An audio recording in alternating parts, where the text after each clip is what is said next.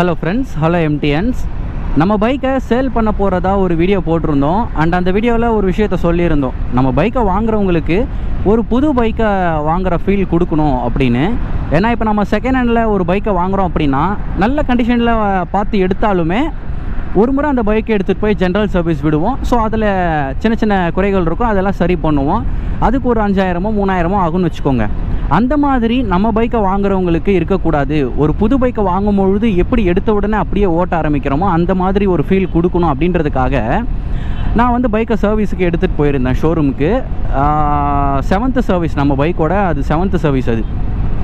So என்னென்ன wearables போயிருக்கோ எல்லாமே பக்காவாக மாற்றிட்டேன் அவங்களும் வந்து பக்காவாக பண்ணி கொடுத்துட்டாங்க. எங்கன்னா வேலூரில் இருக்கிற சாய்நாதபுரம் ஷோரூமில் பட் அந்த சர்வீஸ் முடிச்சுட்டு அப்படியே அந்த ஷோரூம்லேருந்து வெளியே எடுத்து வரும்பொழுது தான் நான் ஒரு விஷயத்தை பார்த்தேன். நம்ம பைக்கோட லெஃப்ட் ஃபேரிங்கில் ஒரு ஸ்க்ராட்சை போட்டுட்டு இருந்தாங்க.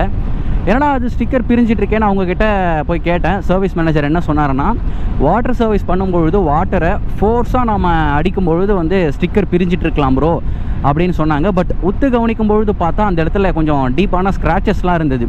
ஸோ அப்போவே கன்ஃபார்ம் ஆயிடுச்சு அது வந்து வாட்டர் சர்வீஸ்னால் வந்த விளைவு கிடையாது. வேறு ஏதோ ஒரு காரணங்களால் வந்திருக்கும். அது தெரியாமல் தான் மோஸ்ட்டாக வந்திருக்கும். ஸோ அதுக்கப்புறம் வந்து நான் ஷோரூம்லேயே பார்த்து சொன்ன காரணத்தாலையும் நாம் வேறு ஒரு யூடியூப் சேனல் வச்சுருக்கோம் இல்லையா? அது ஒரு ரெண்டாவது காரணத்தாலையும். மூணாவது அங்கே இருக்கிற அந்த ஒர்க்கர் ஒருத்தர் வந்து நமக்கு தெரியும். ஸோ கொஞ்சம் பழக்கமான ஆள் அப்படின்றதுனாலையும் நமக்கு வந்து அந்த ஃபுல் ஃபேரிங்கே அதாவது அந்த ஸ்க்ராட்ச் ஆன பேனலை நமக்கு கம்ப்ளீட்டாக ஃப்ரீ ஆஃப் காஸ்ட்டில் மாற்றி கொடுத்துட்டாங்க. ஆர்டர் போட்டு ஒரு டூ டு த்ரீ வீக்ஸ் ஆச்சு. அதுக்கப்புறம் தான் மாற்றி கொடுத்தாங்க. பட் எனிவே நமக்கு வந்து ஒரு பிரச்சனையுமே இல்லாமல் பர்ஃபெக்டாக மாற்றி கொடுத்துட்டாங்க. இதை ஏன் நான் உங்ககிட்ட சொல்கிறேன்னா இந்த மாதிரி நாளைக்கு நீங்கள் உங்கள் பைக்கை சர்வீஸ் விடும்பொழுதோ இல்லை காரை சர்வீஸ் விடும்பொழுது ஷோரூம் சைடில் ஒரு ஸ்க்ராட்சை போட்டு கொடுத்துட்டாங்க அப்படின்னா நாம் எப்படி வந்து அதை ஷோரூம் கிட்ட அப்ரோச் பண்ணி அதை ஃப்ரீ ஆஃப் காஸ்ட்டில் இப்போ நான் பண்ண மாதிரி நீங்கள் க்ளைம் பண்ண முடியும் அப்படின்றது தான் சொல்ல போகிறேன் ஏன்னா இப்போது நமக்கு யூடியூப் சேனல் வச்சுருக்கிறதால பண்ணி கொடுத்துட்டாங்க. பட் எல்லாருக்கும் அந்த மாதிரி பண்ணுவாங்களா அப்படின்னா பண்ணுவாங்க. அதுக்கு நம்ம சில ஸ்டெப்ஸை வந்து ஃபாலோ பண்ணணும். அதில் ஃபர்ஸ்ட் விஷயம் என்னென்னா நீங்கள் பைக்கை சர்வீஸ் விடுறதுக்கு முன்னாடி ஷோரூம்க்கு வெளியே உங்கள் பைக்கை நிறுத்திட்டு ஒரு வைட் ஆங்கிள் ஃபோட்டோவில் இல்லை கொஞ்சம் பின்னாடி வந்து ஷோரூமும் உங்கள் பைக்கும் சேர்ந்து கவர் ஆகிற மாதிரி ஒரு ஃபோட்டோ பிடிச்சிக்கணும். அடுத்தது உங்கள் பைக்கோட லெஃப்ட் சைடு ஒரு ஃபோட்டோ ரைட்டு சைடு ஒரு ஃபோட்டோ அண்டு ஸ்ட்ரைட்டாக ஒரு ஃபோட்டோ ரியர் சைடில் ஒரு ஃபோட்டோ எடுத்துக்கணும். கடைசியாக ஓடோமீட்டர் தெரிகிற மாதிரி ஒரு ஃபோட்டோ ஏன்னா எவ்வளோ கிலோமீட்டர் நம்ம சர்வீஸ் விடுறதுக்கு முன்னாடி ஓடி இருக்குது அப்படின்றத கன்ஃபார்ம் பண்ணிக்கிறதுக்கு. ஸோ இந்த எல்லா ஃபோட்டோவும் எடுத்து வச்சுக்கோங்க. இது எல்லா ஃபோட்டோவும் எடுக்கும் பொழுது உங்கள் ஃபோன் கேமராவோட செட்டிங்ஸில் போய் date and time water mark மாதிரி வரா மாதிரி அந்த ஆப்ஷனை எனேபிள் பண்ணிக்கோங்க. அப்போ தான் நாம் அந்த ஃபோட்டோவை என்ன டைமிங்க்கு என்ன டேட்டில் எடுத்தோம் அப்படின்றத நமக்கு ப்ரூஃபோட காட்ட முடியும். இதை எனேபிள் பண்ணி இதெல்லாம் ஃபோட்டோவில் எடுத்த பிறகு நீங்கள் தாராளமாக உங்கள் பைக்கை ஷோரூமில் சர்வீஸ் விட்டுருங்க. சர்வீஸ் விட்ட பிறகு அவங்க மறுபடியும் சர்வீஸ் பண்ணிவிட்டு உங்களுக்கு கூப்பிடுவாங்க. இல்லை நீங்களே கூட போய் பைக்கை எடுத்துகிட்டு வருவீங்க. அப்படி எடுக்கும் பொழுது ஃபஸ்ட்டே பில்லு கட்டாமல் உங்கள் பைக்கோ அல்லது ஸ்கூட்டரையோ போய் பார்க்கணும்னு சொல்லுங்கள் ஸோ பாருங்கள் நீங்கள் சொன்ன விஷயத்தெல்லாம் பர்ஃபெக்டாக சர்வீஸ் பண்ணியிருக்காங்களான்னு சர்வீஸ் பண்ணியிருக்கும் பட்சத்தில் ஏதாவது டேமேஜ் பண்ணியிருக்காங்களா அப்படின்னு பாருங்கள் இன்கேஸ் ஏதோ டேமேஜ் ஆகிருக்கு அப்படின்னா அதையும் நல்ல தெளிவாக தெரிகிற மாதிரி க்ளோஸ்அப்பில் இல்லை கொஞ்சம் லாங் ஷாட்டில் ஒரு ஃபோட்டோவும் க்ளோஸ்அப்பில் ஒரு ஃபோட்டோவும் பிடிச்சி வச்சுட்டு நீ உங்களோட அந்த சர்வீஸ் விடுறதுக்கு முன்னாடி எடுத்து வச்சிங்க பார்த்தீங்களா அந்த பழைய ஃபோட்டோ அதை சர்வீஸ் மேனேஜர்கிட்ட காட்டி இந்த மாதிரி சர்வீஸ் விடுறதுக்கு முன்னாடி பைக் நல்லா தான் இருந்தது. ஆனால் இப்போ பாருங்கள் ஸ்க்ராட்ச் விழுந்திருக்கு. அப்போ இது நீங்கள் தான் போட்டிருக்கீங்க. இதை நீங்கள் தான் சரி பண்ணி தரணும் அப்படின்னு நீங்கள் வந்து ப்ரூஃபோடு அவர்கிட்ட கேட்கணும். அதே மாதிரி ஓடோமீட்டரை வந்து செக் பண்ணுங்கள் நம்ம சர்வீஸ் விடுறதுக்கு முன்னாடி எவ்வளோ கிலோமீட்டர் ஓடி இருந்துச்சோ அதை விட ஒரு டூ ஆர் த்ரீ கிலோமீட்டர் ஓடி இருந்தால் பரவாயில்ல. ஏன்னா நம்ம பைக்கை சர்வீஸ் பண்ண மெக்கானிக் கரெக்டாக தான் பண்ணியிருக்குமான்னு ஒரு முறை பைக்கை ஓட்டி அந்த கிராஸ் செக் பண்ணியிருப்பார். ஸோ ஒரு டூ டு த்ரீ கிலோமீட்டர் ஓடி இருந்தால் பிரச்சனை இல்லை. ஆனால் ஒரு ஏழு எட்டு கிலோமீட்டர் ஓடி இருக்குது பத்து கிலோமீட்டருக்குலாம் ஓடி இருக்குது அப்படின்னா கண்டிப்பாக உங்கள் பைக்கை வேறு ஏதோ பயன்பாட்டுக்கு பயன்படுத்தியிருக்காங்க. ஸோ அதுக்கான ரீசனையும் நீங்கள் கேட்டு தெரிஞ்சுக்கலாம். ஸோ இப்போ நம்மக்கிட்ட ப்ரூஃப் கரெக்டாக இருக்கிற காரணத்தால் கண்டிப்பாக சர்வீஸ் மேனேஜர் பார்த்தீங்கன்னா நமக்கு என்ன டேமேஜ் ஆச்சோ அதை ஃப்ரீ ஆஃப் காஸ்ட்டில் மாற்றி கொடுத்துருவாங்க. ஒருவேளை ஆன டேமேஜோட பார்ட் வந்து ஷோரூமில் அப்போவே இருந்துச்சுன்னா அப்போவே மாற்றி கொடுத்துருவாங்க. இல்லைன்னா வர வச்சு தரேன் அப்படின்னு உங்களுக்கு ப்ராமிஸ் பண்ணுவாங்க. அப்படி பண்ணால் ஒழிய நீங்கள் வந்து பில்லை பே பண்ணிவிட்டு உங்கள் பைக்கையோ அல்லது ஸ்கூட்டரையோ அல்லது காரையோ எடுத்துகிட்டு வந்துருங்க. எப்படி ப்ரோ அவங்க பண்ணி தருவாங்கன்னு நீங்கள் கேரண்டியாக சொல்கிறீங்க அப்படின்னா பேசிக்காக ஷோரூம் சைடை பொறுத்த வரைக்கும் அங்கே ஒர்க் பண்ணுற ஸ்டாஃப்ஸ் இந்த மாதிரி ஏதாவது மிஸ்டேக் பண்ணி விபத்துக்கள் நடக்கலாம் அப்படின்றதுக்காக அவங்களே பார்த்தீங்கன்னா ஒரு இன்சூரன்ஸ் போட்டு வச்சுருப்பாங்க. ஸோ இந்த மாதிரி டேமேஜ் நடக்கும் பட்சத்தில் அவங்களோட இன்சூரன்ஸை பயன்படுத்தி நமக்கு ஃப்ரீ ஆஃப் காஸ்ட்டில் மாற்றி கொடுத்துட்டு அவங்க இன்சூரன்ஸை க்ளைம் பண்ணிப்பாங்க.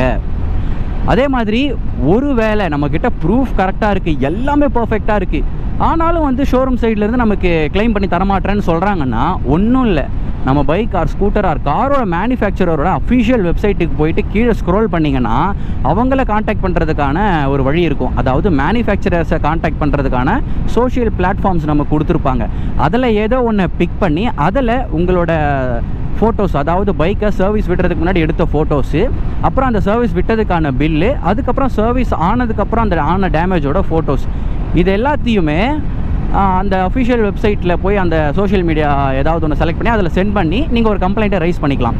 இப்படி பண்ணும்பொழுது மேனுஃபேக்சரர் என்ன பண்ணுவார்னா அந்த ஷோரூமுக்கு காண்டாக்ட் பண்ணி அதை சரி பண்ண கொடுக்க சொல்லுவார். ஸோ அதுக்கப்புறம் ஷோரூமுக்கு வேறு வழியே கிடையாது. சரி பண்ணி கொடுத்து தான் ஆகணும். அதை கொடுத்த பிறகு அவங்க வந்து அந்த கம்ப்ளைண்ட்டை க்ளோஸ் பண்ணுவாங்க மேனுஃபேக்சரருக்கு ஸோ அப்போ ஷோரூமுக்கு வேறு வழியெல்லாம் சரி பண்ணி கொடுத்துடணும். ஒரு வேலை உங்ககிட்ட ப்ரூஃப் கரெக்டாக இருக்குது ஷோரூமில் ரெடி பண்ணி தர மாட்டேன்னு சொல்லிட்டாங்க. அதே மாதிரி மேனுஃபேக்சரரை காண்டாக்ட் பண்ணுறீங்க அவங்க சைட்லேருந்து ரெஸ்பான்ஸே இல்லை. அப்படின்னா என்ன பண்ணணும்? இந்த இடத்துல தான் நிறைய பேர் என்ன பண்ணுவாங்கன்னா ட்ரை பண்ணி ட்ரை பண்ணி பார்த்துட்டு சீ போடா அப்படின்னு சொல்லிட்டு ஒரு மூணாயிரம் நாலாயிரம் அஞ்சாயிரம் அந்த மாதிரி செலவாகுதுன்னா பரவாயில்லன்னு சொல்லி அவங்க காசு போட்டு அவங்களே வந்து மாற்றிடுவாங்க இந்த மாதிரி பண்ணாதீங்க. அதுக்கு பதிலாக ஒரு மூணாயிரம் ஒரு அஞ்சாயிரம் ஆகுதுன்னு வச்சுக்கோங்களேன் ஒரு டேமேஜுக்கு அதை ஒரு லாயர் கிட்ட கொடுத்து அவர்கிட்ட லீகல் அட்வைஸ் கேட்டு நீங்கள் கன்சியூமர் கோர்ட்டில் கேஸே போடலாம். ஏன்னா உங்ககிட்ட பர்ஃபெக்டான ப்ரூஃப் இருக்குது என்ன ப்ரோ இந்த கேஸ் எல்லாம் போட்டு அதை நடத்தி அது வரத்துக்குள்ளே டைமும் வேஸ்ட்டு காசும் வேஸ்ட் ஆகுமே ப்ரோ அப்படின்னு யோசிச்சிங்கன்னா கேஸ் நமக்கு சாதகமாக கட்டாயமாக வரும் அப்படின்றதுனால நம்ம நமக்கு பைக்குக்கோ அல்லது ஸ்கூட்டர் காருக்கோ ஏற்பட்ட சேதாரமும் சரி பண்ணி கொடுத்துருவாங்க. கோர்ட் சைட்லேருந்து சொல்லுவாங்க. அது மட்டும் இல்லாமல் நம்ம டைம் வேஸ்ட் ஆனதுக்கும் நம்ம பணம் வேஸ்ட் ஆனதுக்கும் நஷ்ட ஈடும் கொடுத்துருவாங்க. என்ன ப்ரோ இதெல்லாம் நடக்குமா அப்படின்னா கண்டிப்பாக நடக்கும். நிறைய பேர் பண்ணியும் பண்ணியிருக்காங்க. ஆனால் என்ன ஒன்றுனா இப்போ நான் சொன்ன பிரச்சனைக்கெல்லாம் இந்த மூணாவது எக்ஸ்ட்ரீம் வரைக்கும் போகாது. நம்ம கோர்ட்டு வரைக்கும் போகணுன்னெலாம் ஆகாது. ஷோரூம் சைட்லேயோ அல்லது மேனுஃபேக்சரர் சைட்லேயோ பார்த்தீங்கன்னா நமக்கு இந்த பிரச்சனையை சரி பண்ணி கொடுத்துருவாங்க. அதனால் இந்த மாதிரி உங்கள் பைக்குக்கு அல்லது காருக்கு அல்லது ஸ்கூட்டருக்கு ஒரு சர்வீஸ் விட போகிறீங்க இந்த மாதிரி ஆச்சுன்னா இந்த ஸ்டெப்ஸை மறக்காமல் ஃபாலோ பண்ணுங்கள் ஏன்னா நான் பைக் வாங்கினா ஸ்டார்டிங் ஒரு ஒன் ஆர் டூ சர்வீஸ் வரைக்கும் இதை நான் ஃபாலோ பண்ணேன். இந்த மாதிரி ஃபோட்டோ எடுத்து வச்சுட்டு அப்புறமா சர்வீஸ் விட்டுறதுலாம் பட் அந்த அடுத்த ஒரு ரெண்டு மூணு சர்வீஸ்லாம் பார்த்தீங்கன்னா அப்படியே அதை ஃபாலோ பண்ணுறதை விட்டுட்டேன். ஆனால் இந்த ஏழாவது சர்வீஸில் எனக்கு அது மறுபடியும் ப்ரூவ் பண்ணுது. நீ வந்து வருமுன் காப்பது தான் சிறந்தது. அதனால் இனிமேல் இப்படியே ஃபாலோ பண்ணிட்டு. ஸோ இந்த ஒரு பிரச்சனைக்கு அப்புறம் என்னோடய லைஃப் லாங் பார்த்தீங்கன்னா நான் பைக்கு ஸ்கூட்டர் கார் எது சர்வீஸ் விடுறதா இருந்தாலும் இந்த ஸ்டெப்பை ஃபாலோ பண்ணுவேன். அண்ட் நீங்களுமே இந்த ஸ்டெப்பை ஃபாலோ பண்ணுங்கள் வருமுன் காப்பதே சிறந்தது. நன்றி.